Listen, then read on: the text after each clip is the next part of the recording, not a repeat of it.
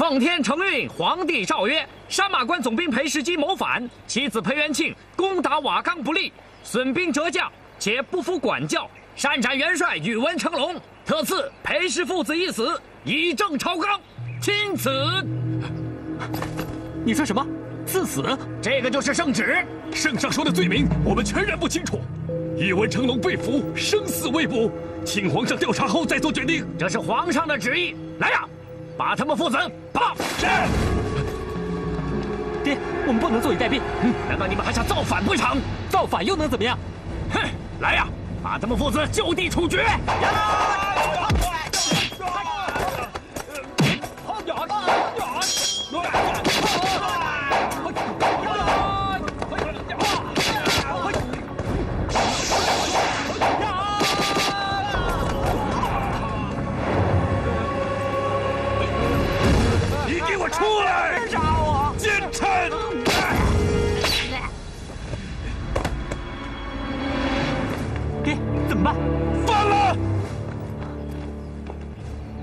弟兄们，当今皇上失道，朝中奸臣当道，民不聊生。我们父子遭奸臣陷害，没有活路。现在决定投奔瓦岗寨。弟兄们不愿意跟我们走的，可以回家发点路费；愿意跟随我们父子上瓦岗的，把枪举起来。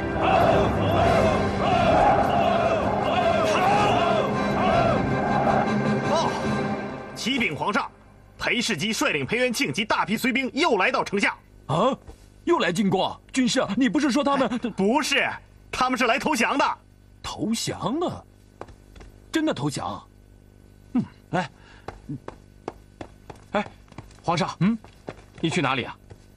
我去接他们呢。啊，这，哎哎，皇上，皇上，皇上，出什么事了？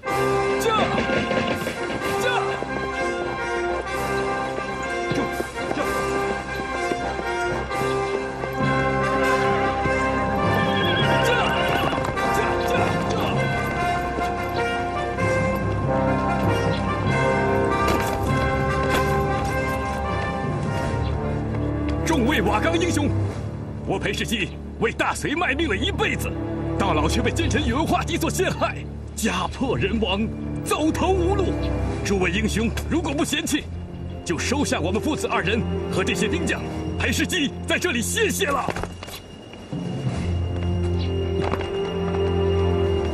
裴将军，请解。哎，请你再等一下，只要还礼就行了。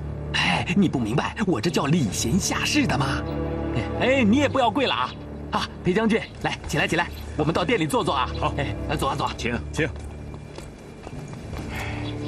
哎哎，裴将军，小心门槛啊！皇上不要太客气，我们反倒不好意思了。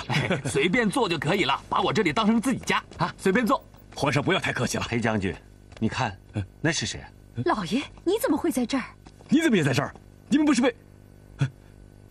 这是个反间计，我中计了。你们。你们竟用计诓我，裴将军不要生气，我们也是爱惜人才，不想在战场上与您伤了和气。徐某在这里向您赔礼了。想不到我裴世基熟读兵书，竟然连这么简单的反间计都看不出来，惭愧，惭愧呀！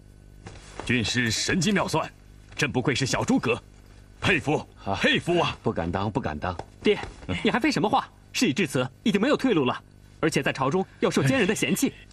我们又杀了一个钦差，已经没办法回头了。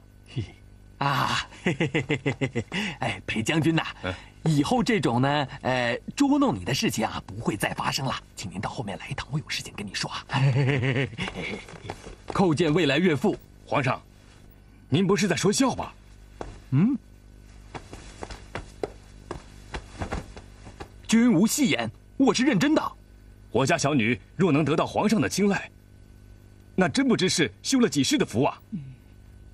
就不知皇太后意下如何呀？哦，放心吧，我娘亲第一次看到翠云姑娘，开心的都要晕倒了，她一定会答应的，是吧，娘亲？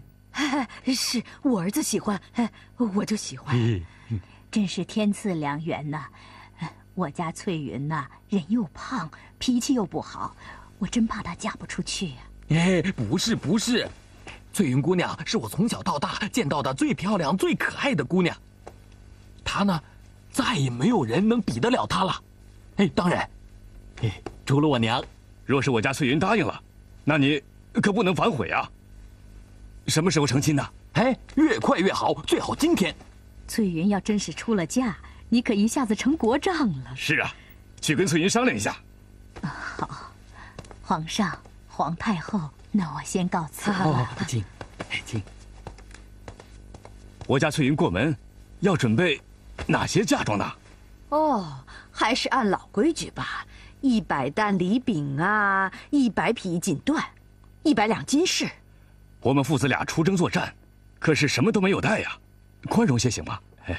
哼，他是皇上嘛，这皇上哎呀，娘亲，人家已经将最宝贵的女儿嫁给我了，你还要那么多干嘛呀？哎呦，你急什么？也许人家不愿意。啊？不会吧，北将军，不会吧？皇上请放心，儿女的事由我们父母做主呢。哎，万一他自己不愿意，我也不想勉强他。好，如果他不肯嫁给我，朕终生不娶。哦，不不不不，怎么能说这么丧气的话呢？我宁愿看到你娶她，也不能说这样的话。哎，老夫人，怎么样？嗯，他不答应啊。他说呀，要先见你一下，见完了以后再考虑。嗯，哦，小金，你不要这样，嗯，要这样，哎哎，笑，哎，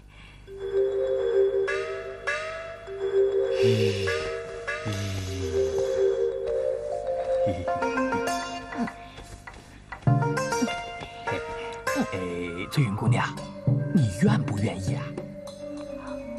我。我愿不愿意什么呀？嘿，嫁给我。娘，同意了。那我爹也同意了。嗯嗯嗯。那好。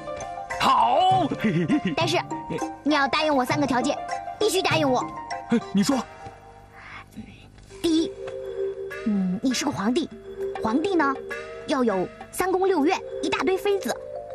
可是你不能这样，你只能娶我一个，行不行啊？行，我最不喜欢那么多女人了，我自己都嫌烦，就娶你一个。哎，那第二个呢？第二个，你不识字，我从小就梦想着能够嫁一个读书人。嗯，你必须认真的学习、读书、识字，做一个读书人的样子，这。能做到吗？嗯，行，但是我天资比较笨呢。如果我读不好怎么办呢？哎，你只要全心全力的去做就行了。好，还有第三个呢。第三，每一个皇帝都是瘦瘦的，只有你这么胖，所以你要减肥。啊，减肥？嗯，可是你……哎呀，讨厌！你看人家干什么呀？我我这是福气。哦，哎，你知道吗？你做皇帝不能这样胖胖的，很辛苦的。你要做就去做一个英雄的样子出来，知道吗？嗯，能减下去，这样就不辛苦，行不行啊？你只要答应我这些条件，我就嫁给你。行。啊？但我从小到大都这么胖，我怕我减不了多少。只要你答应。诚心诚意去减，就成。好，那我答应前面三个条件，你即刻嫁给我。嗯，讨厌。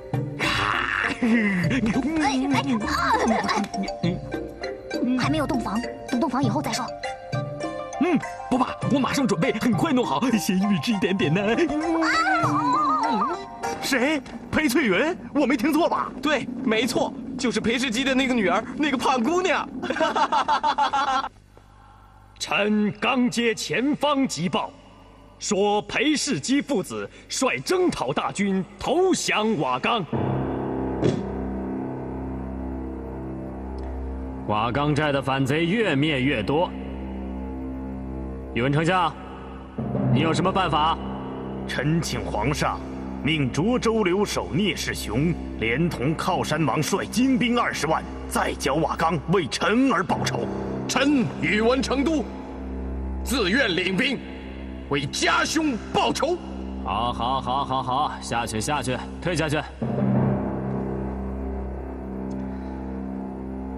哎，两位，宇文卿家，宇文成龙是自愿请缨去领军的，朕也没有逼他去。现在事已至此，朕。就追封他一个威志侯的谥号。你们两个，再不准提报仇的事。微臣不是这个意思，报杀子之仇只是顺便而已，主要是为了剿平反贼。出兵这么多次，都徒劳无功。况且我们每出兵一次，他们的气势就大一点。我问你们。知不知道出一次兵要花多少银子？丞相，请恕臣无能。臣以为瓦岗顽固，没有劝降的可能。没人说一定要劝他们投降。朕只是想平息这场干戈，不让他们在朕的身边，让朕这么烦恼。难道皇上心中已经有了什么计策？皇上英明，臣洗耳恭听。皇上英明，臣等洗耳恭听。有时候我真不知道你们这帮人是干什么的，芝麻绿豆的小事儿，都要朕来伤脑筋。好，我问你们，瓦岗金堤加起来，与朕这个花花江山相比，如何呀？哼，沧海一粟。说得好，沧海一粟。反贼再猖狂，所占的就是那么丁点儿地方，值不值得我们为他们劳民伤财呢？非逼他们于死地不可。只要大家相安无事，别妨碍朕好好的过快快乐乐的日子，不就行了吗？那我家兄的仇，皇上英明。皇上以天下苍生为重，化干戈为玉帛，善之善之。既然此意已定，以后任何人不准再提攻打瓦岗的事情。省下来的军饷，拿去修城外的御果园。臣领旨。这么重要的事，都被朕解决掉了。哼！皇上退朝。吾皇万岁万岁万万岁！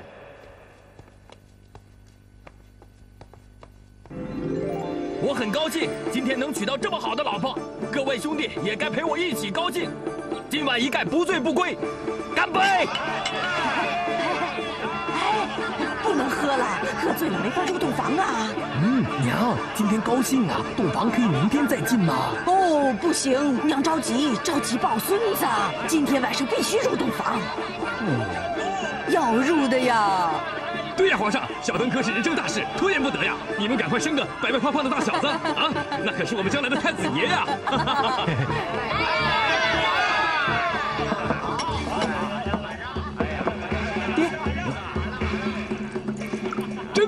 好了！他告诉你姐夫，哎，好开心！姐夫，我真的很感激你。我一直担心我姐姐的未来，担心她嫁不出去。哎，你姐姐那么漂亮，我还怕她被人抢走呢。现在居然有人愿意接受她，而且还是个皇帝。我这个做弟弟的，做梦也没想到。为了感谢你宅心仁厚，我准备了一份嫁妆，希望你啊能够接受。哎，大家这么熟，何必那么客气呢？哎，要的要的。各位兄弟，为了庆祝我姐姐终于可以嫁出去，我专门到我老家天马关走了一趟，已经劝服我舅舅投诚。我们大魏不用一兵一卒就可以换回一座城池，这也算我送给姐夫的礼物。好，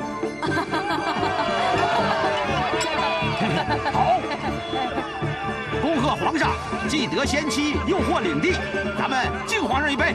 来，皇上，恭喜你，不要谢谢，皇上。干。二哥，别喝太多了。哎哎呀，难得高兴嘛！我看到皇上高兴，我也高兴。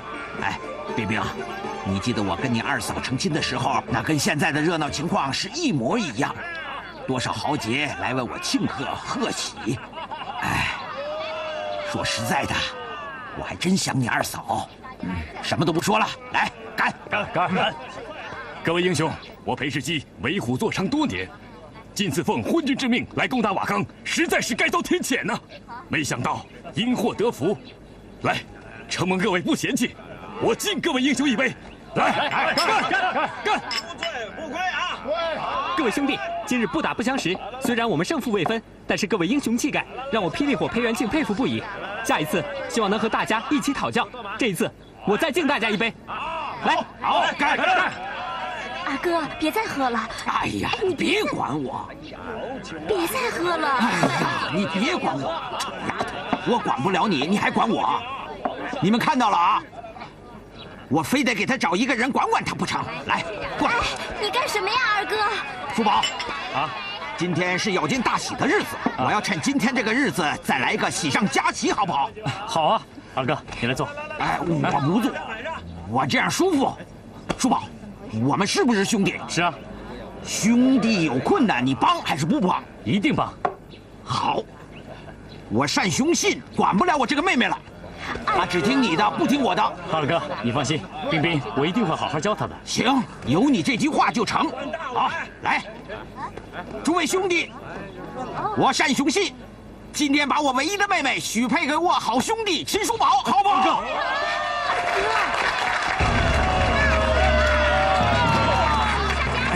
二哥，你干什么？哎，叔宝啊，冰冰是个好姑娘，你一定要答应啊！是啊，叔宝，说句话吧，下面的兄弟可等着呢。二哥，对不起，我我不能答应。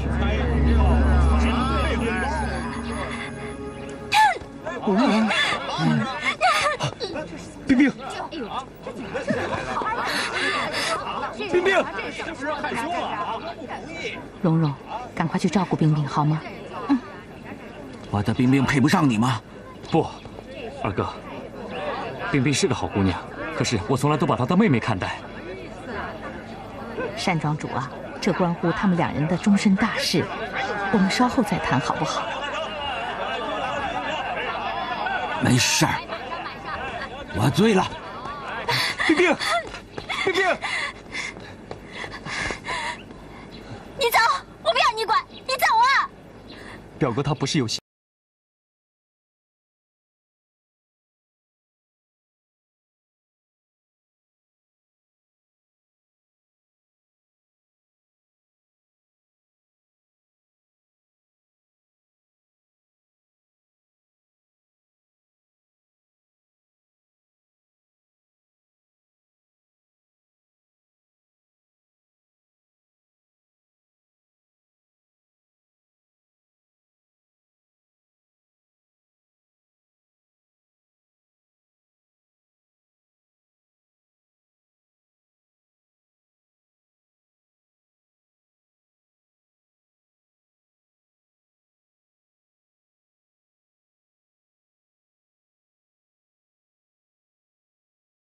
情来的太突然了，等他考虑几天，他一定会回心转意的。我才不要他回心转意，让他答应呢。他答应我也不会嫁给他了。你不是挺喜欢秦大哥的吗？我只是觉得他对我好，可我也没要嫁给他呀。但是，他居然在那么多人面前拒绝我。哎呀，你叫我以后怎么做人啊？没事的，没事的，过两天他们就会忘记了。别哭了啊。蓉姐姐，女人一定要嫁人吗？不一定，但是人总希望有个归宿，那样的话，你的快乐和忧愁就有人一起分担，在你苦闷的时候，可以有人聆听你的事。那你为什么不找一个？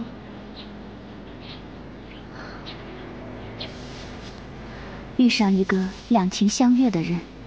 是一种缘分，不是靠找来的。那你遇上没有啊？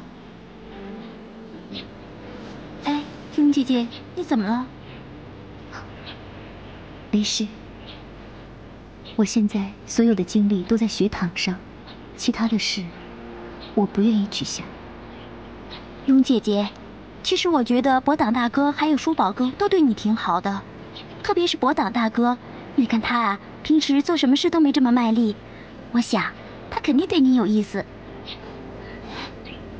冰冰，我真的太佩服你了。刚才是我在安慰你，怎么现在反倒你在安慰我了？我没事了，反正已经发生了，生气也没有用啊。这太阳还不是每天都要出来吗？没事了，那我们就进去吧。秦大哥会担心的。我不回去啊，现在回去多难为情啊。龙姐姐，你陪我聊聊天吧。嗯，好吧，听你的。嗯，那你考虑一下，到底是博党大哥还是叔宝哥？多事哦。那你呢？是罗成、史大麦？还是樊虎？呸！我才不要他们呢！好了，好 了好了，都别转了，头都转晕了。哎，好了好了，哎，再来一圈啊！别转了，哎，有客人来了，别转了，你们自己去玩吧啊！宁夫人、秦夫人，你们怎么来了？蓉蓉呢？啊，在里面呢。你跟冰冰谈一谈，我去找蓉蓉。啊啊。那个顺便经过，过来看看你啊！您跟我来吧。哎，您坐吧。哎，冰冰啊，你跟他们玩的挺开心的。是啊，您不知道，这些小孩都挺可爱的，跟他们在一起，什么烦恼都没有了。你不也是那么天真可爱吗？给你的，这是什么？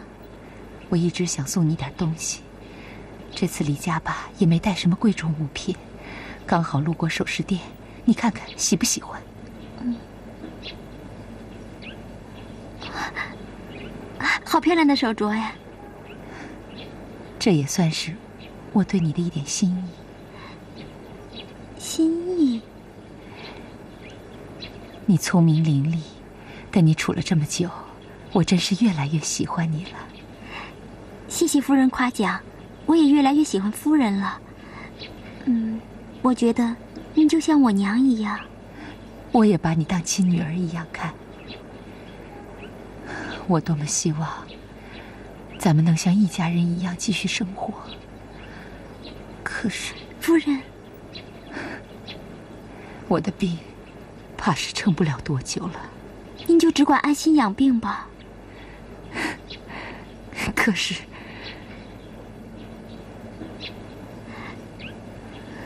您放心吧，夫人。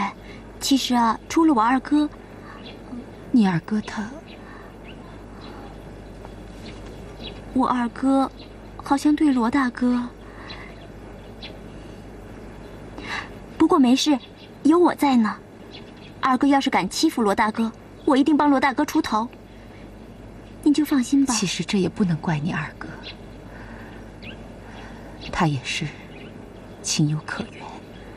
不过，其实我二哥平时对人挺宽宏的，我想啊，过不了多久，他会原谅罗大哥的。你觉得成儿对你怎么样？嗯，罗大哥对我挺好的。那么他对别人怎么样？罗大哥对别人其实也挺好的，不过我觉得他呢，好像平时不太爱说话，而且对朋友也很挑剔，所以他朋友不是很多。这都是我和他爹的错。我们对他从小啊要求太高，只知道逼他去练武功、读书。其实您二老也是望子成龙，天下父母啊都是一样的。要是那时候我们让他多结交一些朋友，他现在也不会这样。冰冰啊，我拜托你，好好改变改变他。改变，我可不敢说。不过罗大哥以后有什么要我帮忙的，我一定会帮他的。好，您怎么了，夫人？没事吧？老天，真是捉弄人！要是当时我不把你骂走，他父亲要不是介意雄心的背景，你跟成儿也早就成好朋友了。夫人，冰冰，你能原谅我吗？夫人，我从来都没有怪过你们。再者说，现在我和罗大哥也是很好的朋友啊。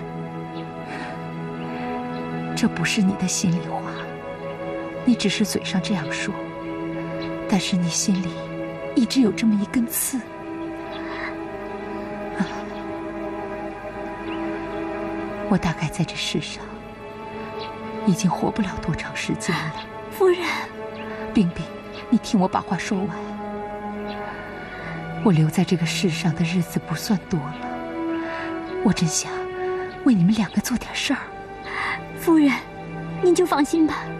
我怎么样才能把你心里那根刺拔掉？其实我和罗大哥现在真的是很好的朋友。我说的不是那种普通的朋友，我说的是，是。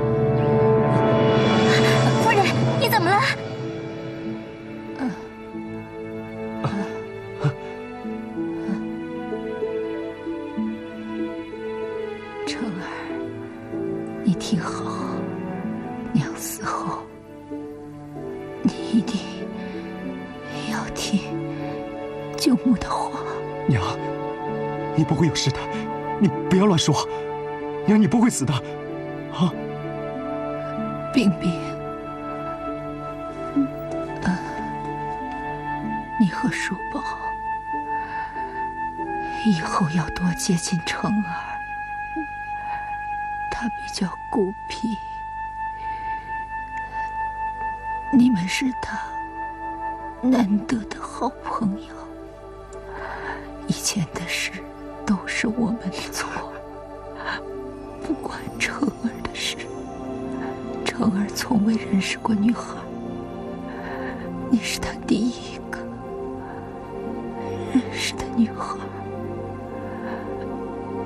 千万不要拒他于千里之外。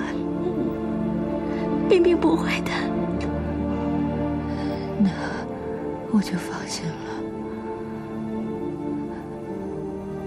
成儿，咱们罗家枪法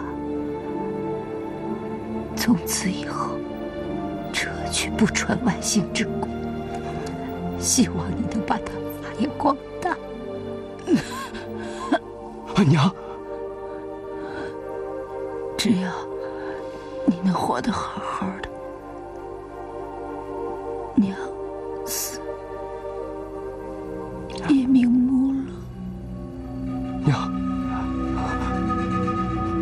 娘，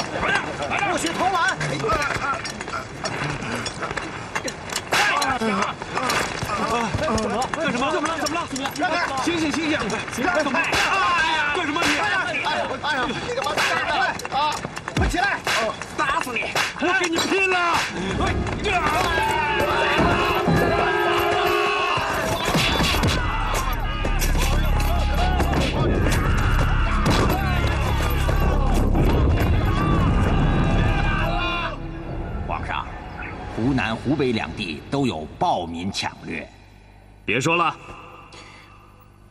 整天都说这些，朕现在背都背得出来了。这，皇上是不是有什么心事啊？皇上有什么心事，可否告诉微臣？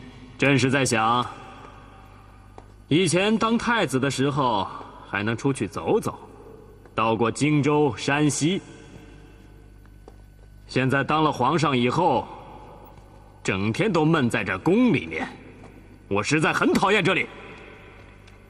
哈，皇上说的也是，出去走一走也好，但不知皇上想去哪里。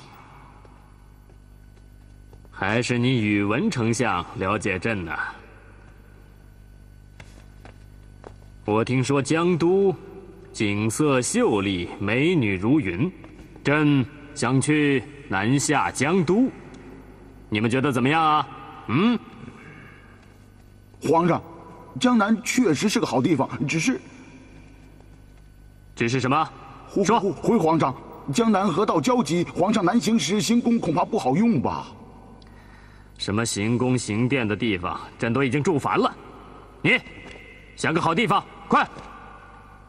啊，皇上，臣倒有个好主意。朕早就知道宇文丞相主意最多，快讲。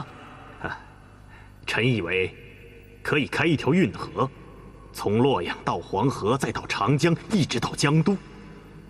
那个时候，皇帝乘船去游江南。两岸美景尽收眼底呀！朕怎么就没想到啊？好，但是不对，我们不能老是坐船，没有住的地方。又是住行宫啊！皇上乘的龙舟就是行宫。龙舟，我们可以修一条前无古人的龙舟。皇上可以乘船到江南去玩。到那个时候，想要多畅快就有多畅快呀！有点意思。说，这船要高四十五丈，嗯，船长呢要二百丈。这条船可以坐千百人。皇上，船上的布局，一切都跟皇上的行宫一模一样。皇上。这可是一座水上行宫啊！好，水上行宫啊，朕就可以坐这个水上行宫，一直到江南去玩个痛快。哎，不对呀，这么大的船没有大风大浪，怎么推得动呢？哎，这个船不用风力，也不用水力，不用风力，不用水力，不错，用人力，只要沿途有人拉。那不就行了？啊！对对对对对对对，只有丞相你这么绝顶聪明，能想出这么好的主意。好，朕就依宇文丞相所言，派人打造龙舟。启禀皇上。怎么，李密，有何提议啊？皇上，修长城以国力大伤，各地是怨声载道，暴乱不断。开运河、造龙舟两项工程，又得召集民工数百万之众，而且工程浩大，死伤肯定无数。臣恐怕这样下去，天下百姓的暴乱肯定会不断加剧。知不知天下为什么会这么暴乱？就是因为天下的人太多。传旨：做运河、造龙舟之事。谁敢违抗圣旨的，格杀勿论。遵旨。李密、马叔谋，臣在。朕命你们两个人负责这件事。半年之内，龙舟不能起航的话，格杀勿论。臣遵旨。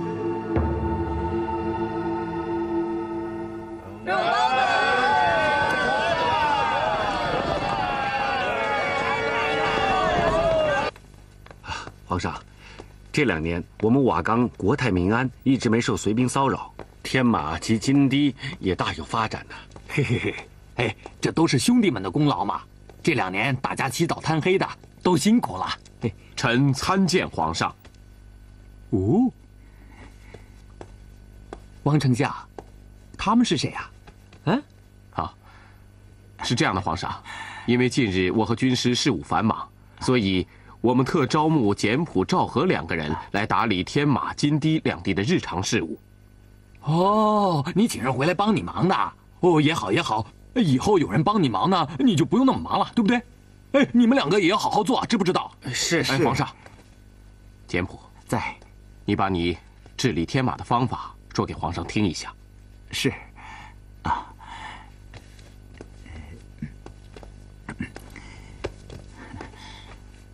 皇上，哎，哎，你呢？想怎么管理就怎么管理，哎，不用管我的。哎，皇上，天马乃咽喉之地，非同小可，还是听监仆说一说吧。嗯，那你说两句就行了。啊，嗯，遵旨。天马关地势险要，易守难攻，以此地来防御敌人，关键是防守而不是进攻。皇上，依臣的意思是，以天马关的地形，应该是防守重于进攻。你说这么久，我一句都听不懂，你能不能说的简单些啊？哎啊，应该呀，加强其内部的防守，常年备足粮草，这样呢，一旦敌人进攻，天马关的重兵士呢，便可以。皇上，嗯。啊！一旦敌人进攻，天马关的众将士也能有足够的粮草补给。这样，即便是敌人想要断后，那也无妨啊。天马关前有众将把守，后有充足的粮草，那是万事无忧。皇上，您就尽管放心吧。嗯，你说完了？呃，说完了。不是说两句吗？怎么说这么久啊？这皇上，不不不，起来起来呀！皇上息怒，皇上息怒。简朴赵和啊，你们把采取的方案写下来，交给皇上过目就行了。啊，是。嗯，二位请到这边来。哎，好。哎，你们没有什么事啦？哎，那就退朝啦。哎，皇上，嗯，臣还有一事要禀告。有什么事？你快说。二位皇上，后边去吧。我们现在的瓦岗跟从前不一样，我们应该开始有国家制度。啊，你看看。你看看，这宫外面的景象，居然像集市一样热闹，我觉得太不规矩。我想把他们都迁走。哎，外面那个杂事啊，不知道有多热闹。还有啊，那个饼摊我最喜欢了，每天晚上我肚子饿都会买回来吃。一旦把它撤走了，我肚子饿了怎么办呢？哎，皇上，哎呀，还有啊，你看人家生意做的不是挺好的吗？你把人家赶走了，那岂不是不好吗？哎，还有啊。前面那个饼实在不错，你吃不吃啊？我请啊！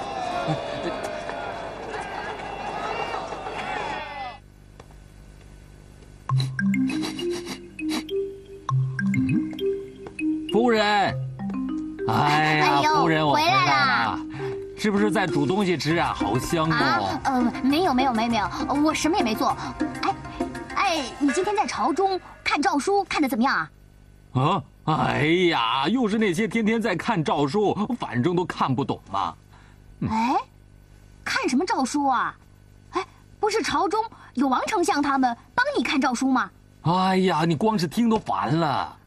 哎呀，别嫌累，别嫌烦呐，相公。哎，朝中有那么多人帮助你，你还嫌累啊？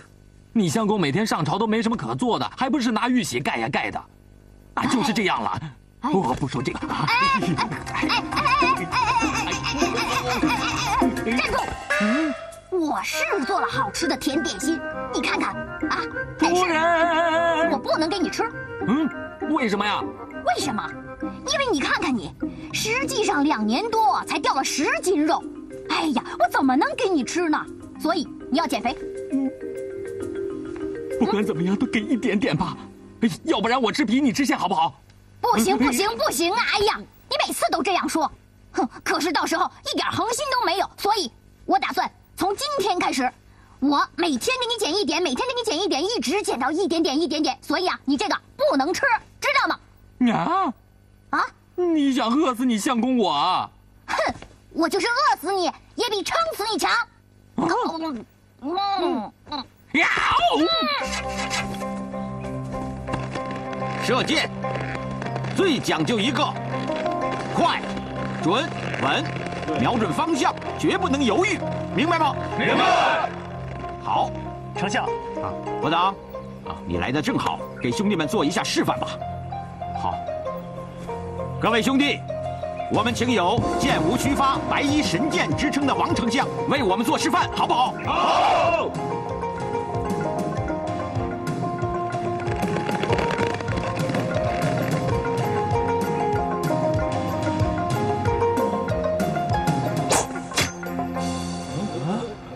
是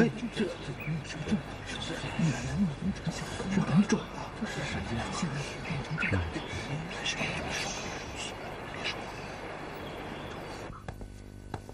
老臣参见皇上。来了。龙舟那件事进行的怎么样了？呃，还要朕等多久？朕都快闷死了。皇上别急，就快建好了。就快？那就是没建好了，对不对？主意是你出的。你说半年之内完工，现在都快三个月了，帆都没有一张，是不是存心戏弄朕啊？皇上息怒，老臣知罪。老臣命令他们日夜赶工，皇上，您等不了太久。朕也不是存心要为难你，不过呢，朕的迷楼啊、迷城啊，全部都已经玩腻了，待在京城里真的很没意思。要不这样，皇上，您不是要在太原上船吗？要不咱们到太原玩玩？太原，那是什么鬼地方啊？朕住在哪里啊？皇上，您可以下一道旨，命李渊在太原建一座行宫，叫晋阳宫。晋阳宫，名字不错啊，但可以在一个月内建成吗？天下的子民都被我征召去修建运河了。嗯，皇上。就是一个月不可能建成，所以才让李渊去建的。为什么？皇上难道忘了在建安，你率旨私斩两位美人，然后污蔑皇上杀死琼花公主之仇了吗？你不说我也忘不了。好啊，反正朕现在这么无聊，找李渊玩一下也不错。你有什么好主意啊？皇上下诏，让他在一个月内建成晋阳宫。如果他建不成，我们就可以名正言顺的砍了他脑袋。如果建得成呢？那就更好。我们就说他在太原私造一个豪华的宫殿，安一个私造宫殿、预谋造反的罪名。这样，李渊就死定了。